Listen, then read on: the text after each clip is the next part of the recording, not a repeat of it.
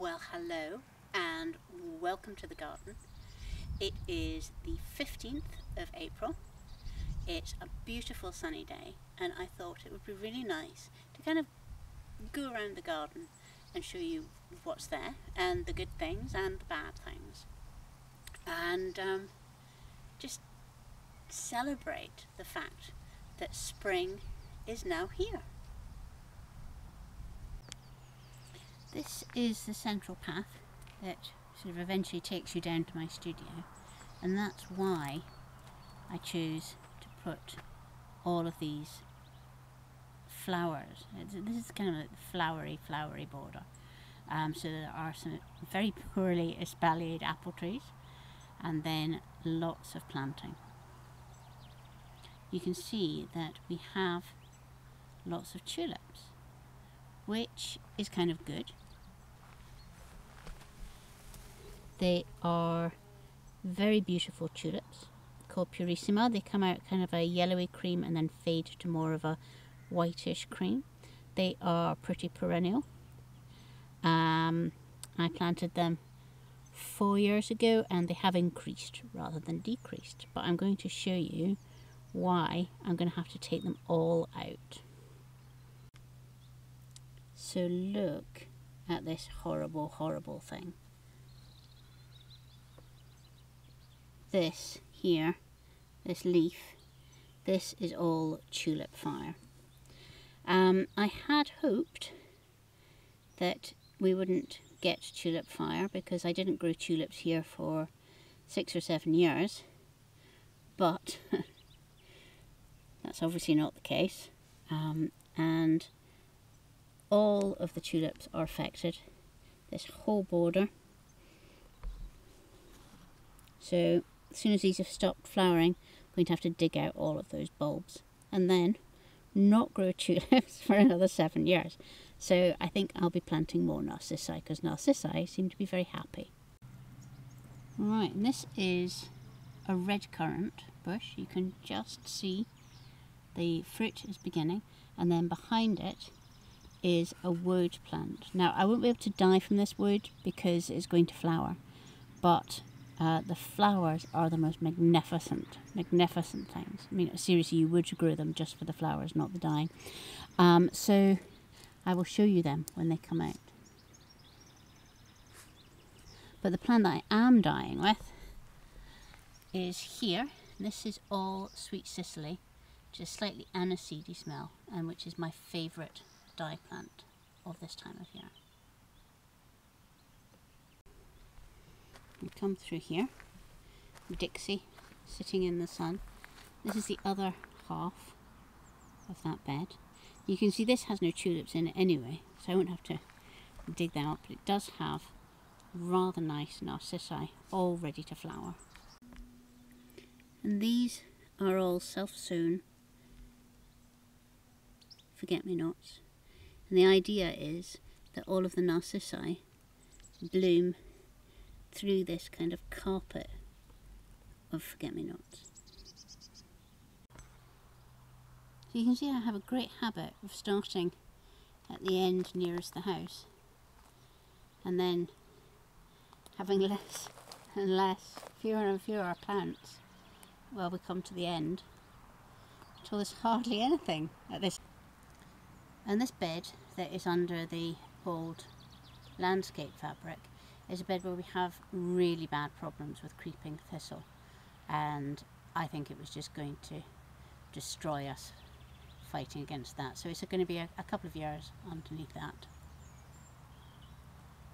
And there's a bed that I've been hoeing this morning and over towards where there was meant to be asparagus and I suspect there isn't and also some rhubarb.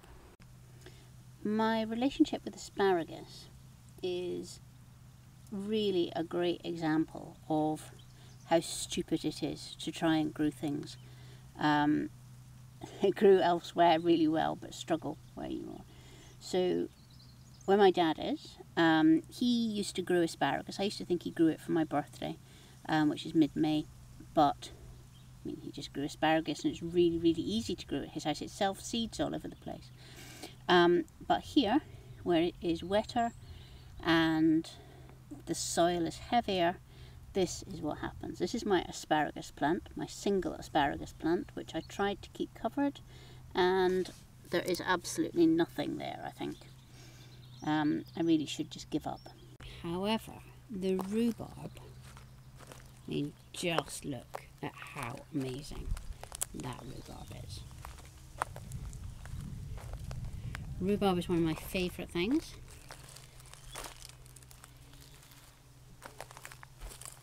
You can create a mordant with it as well, which um, I think helps. But just look at. You can't even see.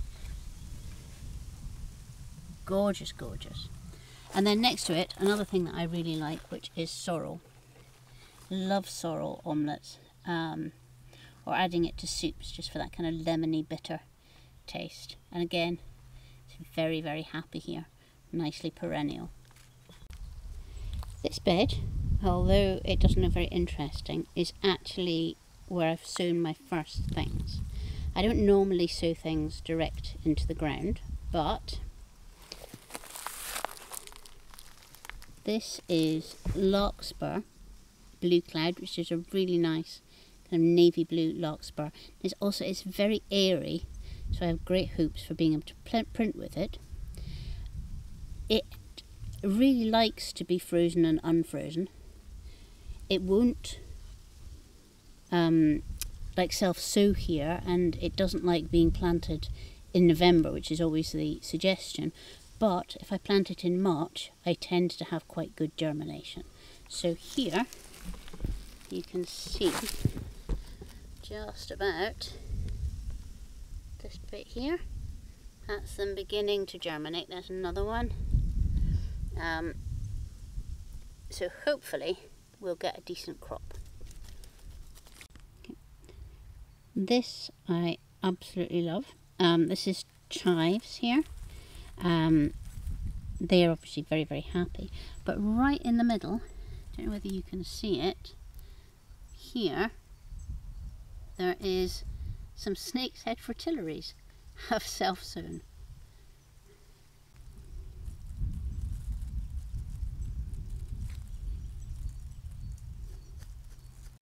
Right, this bed at the front of the border is sort of like the newest growing space that we have. We had to take a box hedge out where you can see that um, soil there because the box had got box blight. So we took all of the box hedges out and put this bed in its place. And this is uh, the compost from the compost heaps and leaves from all of the hedges swept up and put on top of it. You can see it's a little bit weedy, but pretty good. And I'm going to plant lots and lots of salad. Hopefully it will look really pretty right the way along there. And the, the net is just there to warm up that bit of soil. So that's where I'm going to put the early salads. And if we turn around here, this is kind of dining space. And also a place where I can have lots of pots of herbs. So there are pots of mint. There's honeysuckle and roses growing up there. There's lots of grasses, lots of sanguisorba. You can see the honesty there. Um, there were also a number of problems in the frost. So this pot, which was some agapanthus, has completely frosted, as has that one there.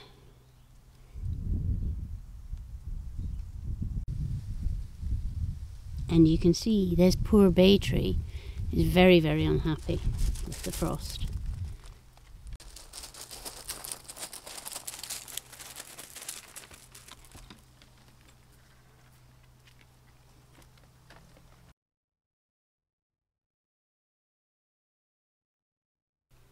the hop is already beginning to send up its shoots. And by midsummer it will be covering all of that frame. And there's the wisteria.